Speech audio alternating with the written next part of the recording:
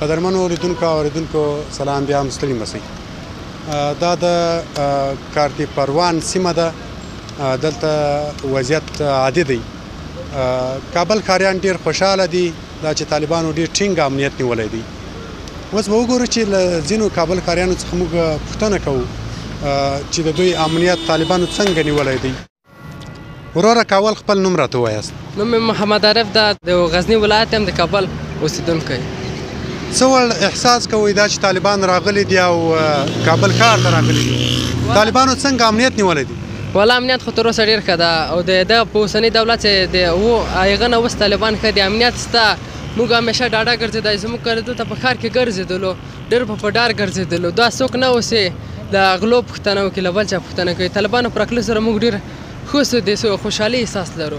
تاسو له طالبانو څخه څه وړ خاطره لرئ داسې لنډو ورځو کې؟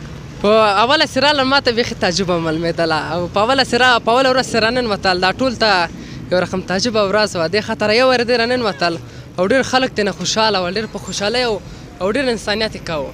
کابل ښاریانو د طالبانو ښه راغلاست وویل. او ډېر ګرم استقبال یې وکړ، اخر داسې سول چې مجاهدینو خپل ځان له خلکو پټاوه چې دې خاطر خلکو ډېر ورته خوشحاله وه.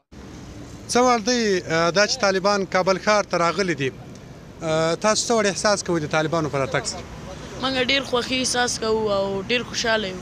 طالبانو خو به کوم چاته مشکل نه وي رسولی. نه. څه وړ راغلو طالبان تاسو له طالبانو څخه یو وړه خاطره په دغه دوه درې ورځې کې راته وایاست. بس یو څو غلې ونیول او آرامي راغلله. له غلو سره یې څه وکړل؟